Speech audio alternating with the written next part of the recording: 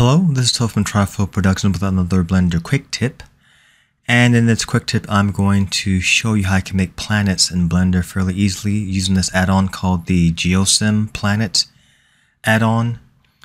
Uh, and this for Blender 3.4, there are a lot, well not a lot, but a good number of uh, planet generators that are out there for Blender that are add-ons. But this one, it's pretty minimal in terms of uh, the parameters, but it's pretty effective. it's not free, uh, but for the price, it's not that bad. And um, installation is still the same. I'm using 3.4. Ignore this part. This is for another add-on. This has nothing to do with the uh, GeoSim Planet add-on. Uh, but to install the add-on, it's the same process. Go to Edit, Preference, and you can just download it uh, from the link that I'll provide in the description below this video go to install. And then navigate where you've to where you've installed it click on that uh, folder to unzip it. Click on install add-on. And let's type in geo.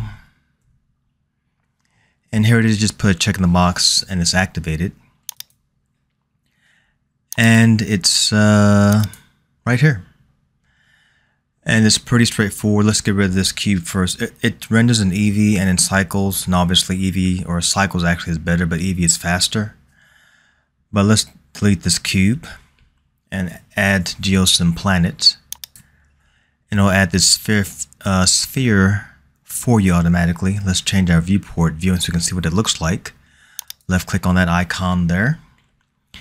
And it'll look like this initially, but just give it some time to render out. And it shouldn't take long at all, just a couple of seconds. And there you go. You can tell from this map that it's the planets, it's the um, planet Earth. This is Australia right here. And it's got uh, the clouds and all that kind of stuff that you would see it in space. Now all your settings right here, it's got uh, settings for the atmosphere, for the clouds, and for the surface.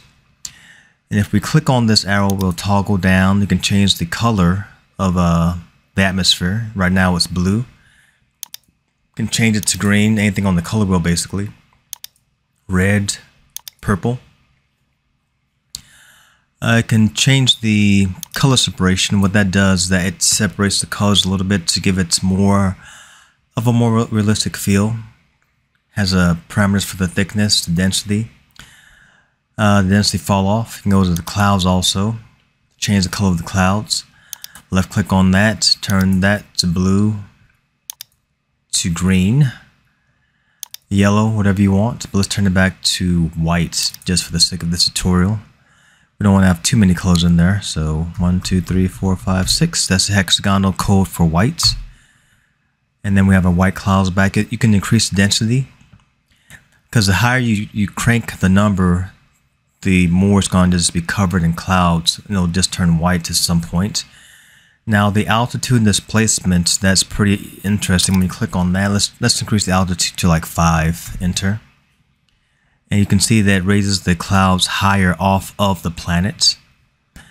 Um, the displacement also, you can increase that. Let's increase that, see what that does. Change that to 5 also, enter. That gives it more uh, space between the clouds and the planet itself. Increase the sharpness. It partially increase the shadows also. I don't know if you can crank it up to a higher number than one. Let's try probably 5 also. Let's see what that does. Yeah. And that gives the clouds more separation from the planet itself. Now you can uh, add atmosphere to the planet's atmospheric shadows by putting a check in that box. And, and that adds a little bit of a shadow to the base of the clouds. It's flickering right now, I think because it's trying to render out as I'm recording, but when you use add-on without recording anything, it uh, doesn't do that. Let's le left click on the surface there and see what that has to offer us. There's parallax displacement, the bump distance. Let's with the bump bump distance that actually gives us more uh, shadows underneath the clouds. If we bump it up to like six, it will give us a little bit more distance between the clouds and the uh, earth there. But the really cool thing about this is the textures. As I mentioned earlier, with the textures of our uh, world here, it's got the texture of the earth. You can change it to whatever texture that you want, just in general. I'm going to turn this back to blue from purple because this is kind of bothering me a little bit. Um, give it more of a earthly look to it. There we go. Now, if we scroll down to textures, left click on that. It's got texture slots for the base color, roughness, specular, the height map, and the normal map. Now, there are tons of sites online that where you can download texture maps for planets. I've done a few already. Um, it's good to pretty much go to Creative Commons sites so that you don't get any issues with copyright infringement. But just type in flat maps for Jupiter. It's important to use the term or the words flat map. That way you get a flat texture to use. But flat maps of Jupiter, flat maps of Mars, flat maps of Venus, and it'll give you all these flat maps.